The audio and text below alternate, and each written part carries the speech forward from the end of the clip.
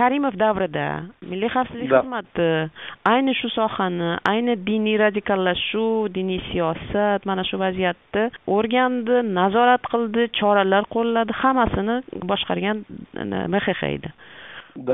Nima bilan tugadi mana shu siyosat? Birinchidan bu narsa tabiiy holat edi.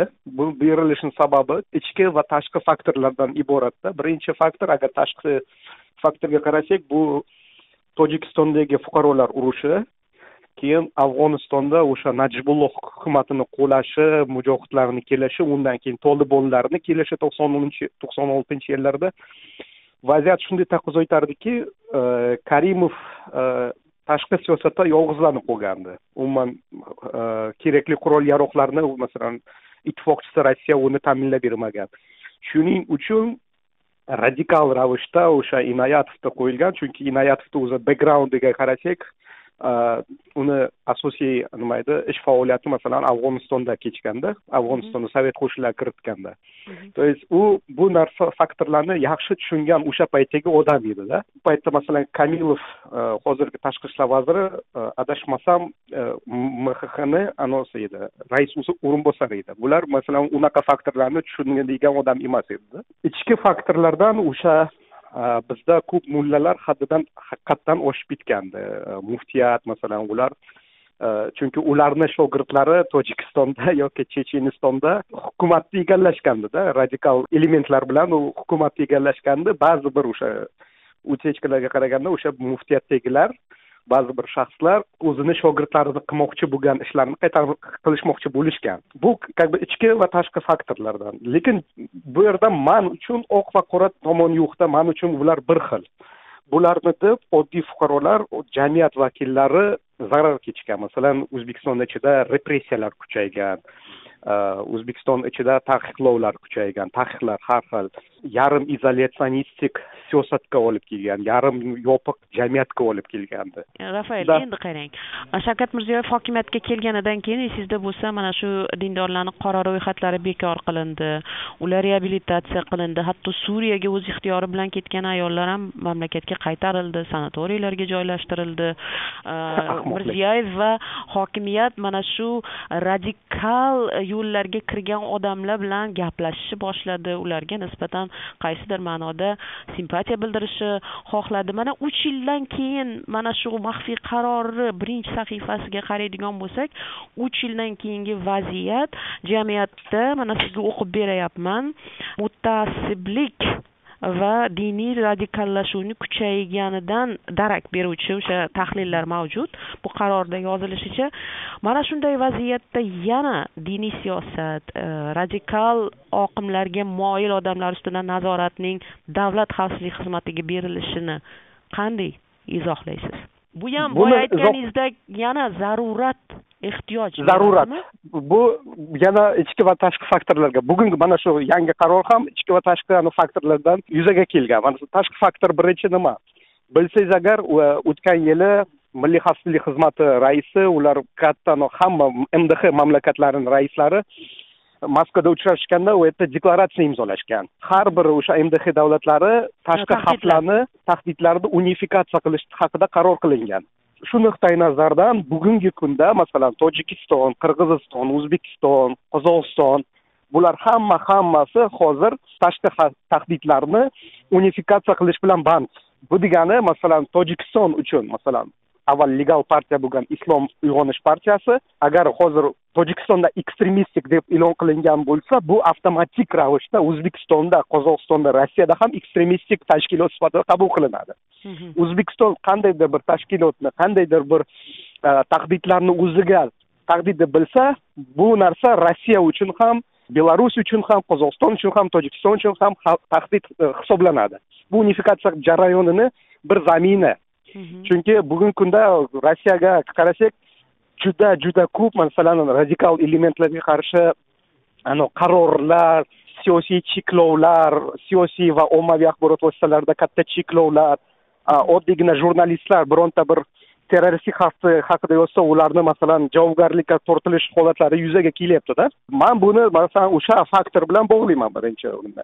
Ikkinchi ichki omillardan biri o'sha siz aytgan paytingizda erkinlik berildi qora ro'yxatdan chiqarildi va va hokazo hokazo bo'lgandan keyin xatolar o'sha aynan mutaassib dindorlar tomonidan juda katta publik siyosatda katta xatolar qo'yildi. Mana birgina misol esingizda bo'lsa blogerlarni arest qilishgandi beshta blogerda mhm. ular orasida masalan haqiqatdan ham mutaassiblar borligi shunday yashirinmasdi mana azon uz sayti bor mhm. azon uz saytida maqola yozgan uni qancha qancha odam o'qigan unda ro'mol o'ramagan qiz va ayollarni fohishaga tenglashtirgan. Yoki turk seriallari masalan kelayotganda bu bir kichkina kimgadir shunga ham e'tibor beradi. Bu bir показательda bu ham.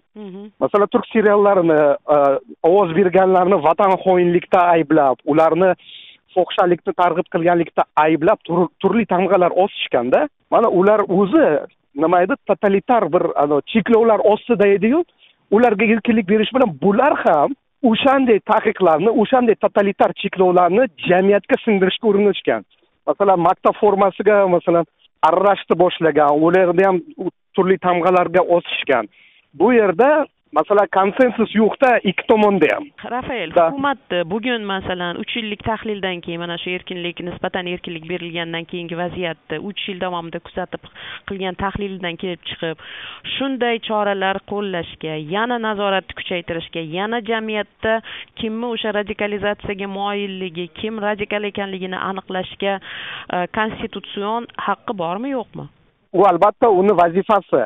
Lekin har doim har qanday milliy xavfsizlik organi qaysi davlatda bo'lmasin ular birinchi o'rinda qonunga va jamiyatga agar tahdid solayotgan taqdirdagina ularga qandaydir cheklovlar qilinadida. Qarang bu narsa hozir de facto de facto bo'lgan narsa de yuroga aylandida avvalam o'shalar o'sha xavfsizlik organini ta'siri ostida ishlashganda kerak bo'lsa званияsi ham bor edi неофициальный ну военный званиялari ham bor edida shuning uchun de facto bo'lgan narsa hozir de yurga aylandi bu birinchi narsa ikkinchi tomondan qaysi organ bu bilan shug'ullana oladi masalanda mamlakatda qarasangiz mana ma'naviyat va ma'rifat respublika markazi bor targ'ibot markazi bor umuman pustoy ichi bo'm bo'sh qanaqadir bir imitatsiya бурной деятельности bo'lgan organda u umuman foydasi shuncha mobaynida aniq faktlar bilan radikallarni qanday radikalizmga qarshi kurashishni qandaydir bir yutug'i bormi? Faqat studentlarni auditoriyaga qamab mana mujur gaplar qilib qanaqadir bir беспонтовый kinolarni ko'rsatadi dokumentalniy kinolarni. Masalan hech qanaqa yo'q anaqasi madaniyat vazirligini olaylik madaniyat vaziri o'rinbosari bitta gapida uchta to'rtta xato qiladigan odam u qanday qanday yordam qila oladi? Yoki ta'lim vaziri masalasi ham borda. O'sha e, konstitutsiya qonunlarida belgilangan vakolat masalasi ham bor. Mana hozir men davlat xavfsizlik xizmati to'g'risidagi qonunni ochyapman qarayapman terrorizm ekstremizm uyushgan jinoyatchilik qurol yarog' giyohvandlik vositalari va psixotrop moddalarning noqonuniy muomalasiga qarshi kurashish vakolati aynan e, davlat xavfsizlik xizmatiga yuklatilgan. E, so'rayotganim demak bu xizmatga topshirilishida bir qandaydir konstitutsion bir huquqiy yo'q ziddiyat yo'q. Yo'q deyarli yo'q. De facto yo'q. Bo'lgan taqdirda ham bu o'zbekiston sharoitida masalan konstitutsiya ko'proq aytganda anavi asosiy rol o'ynaydigan hujjat emasda konstitutsiya. Shuning uchun bu yerda kim qila oladi kim o'sha narsani kontrol qila oladi kimda bu instrumenti material texnik bazasi texnologiyalar va agentura nima edi networking deydimi mana agentura сеть agenturная сеть bo'lgan tarmog'i organ tarmog'i o'shani faqat o'shalar shug'ullana oladi bunday narsada chunki terrorizm radikalizm bu birinchi o'rinda albatta shu xavfsizlik organlarining vazifasi rafael oxirgi savolim mana shu vazifani yana qaytadan de yure siz aytgandek davlat xavfsizlik xizmatiga topshirilishi aholi o'zbekistonliklar xususan o'sha dinga moyil qatlam orasida yana karimov davrini siyosati qaytariladimi? Yana ayni o'sha metodlarga qaytadimi degan bir xavotir uyg'otishi tabiiy. Mana shunday xavotir sizda masalan bir kuzatuvchi tahlilchi sifatida uyg'otmayaptimi? Mani umuman bu narsa ajablantirayotgani yo'q. Bu o'sha aytgandek tabiiy bu shu narsaga borishi mumkin edi bu azal azaldan. Chunki o'sha aytgandek faktorlar ikki tomondan ham bu faktorlar yuzaga kelgandi hukumat ko'rdiki o'zining ideologik va iqtisodiy monopolizmiga boshqa bir kuch boshqa bir radikal kuch tahdid solyapti shuning uchun bu yerda bu kurash siyosiy kurash albatta qaytishi mumkin lekin yuz foizga albatta kariyev davriga qaytmaydi buni birinchi o'rinda o'sha mirziyoyev va uni atrofidagilar uni xohlamaydi birinchi o'rinda karimov erasiga qaytishdi lekin kontrol albatta bo'ladi bu kontrol rossiya tipidagiga aylanishi mumkin Э, yaxshi yomon tarafini olib tashlasak bu tabiiy narsa. Shu narsaga borish kuzatilishi avval avvaldan уже bilinib turgan. O'sha ikki ming o'n yettinchi yildan beri bu gaplar aytib kelingandi. Kerak bo'lsa dindor qatlamlar ham o'zlari aytishgan. Oshirib yubormanglar yana kontrol qaytadi boshqa jamiyat vakillarini hurmat qilinglar. Yana qaytib kelishi mumkin qattiq kontrol. Yana sanlar jabr ko'rasanlar birinchi o'rinda degan gaplar ikki ming o'n yettinchi yildan beri takrorlanib kelgandi. Afsuski ikki tomon ham bu na konsensusga na bir murosaga keldi. Bittasi boshqa tarafga mutasib deb e, tamg'a osgan bo'lsa ikkinchi taraf kofir dahriy fohishaboz mana shunaqa fohishaga tenglashtirib radikal nima edi fikrlarni uyg'otishga sabab bo'lishgan. Bu yerda birinchi o'rinda bu jamiyatning o'zini mag'lubiyati. Jamiyat ikki qatlam bir biri bilan murosaga kela olmasligining samarasi bu. Samarasi bu.